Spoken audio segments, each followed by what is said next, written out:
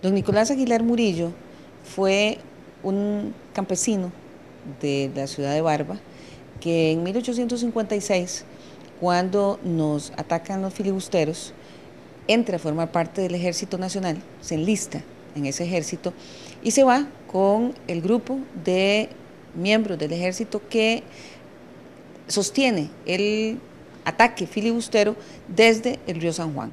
La iniciativa fue dictaminada en la Comisión Permanente de Asuntos Sociales de manera unánime. Propone celebrar el 10 de septiembre de cada año la gesta heroica realizada por el coronel Nicolás Aguilar Murillo durante la campaña nacional 1856-1857.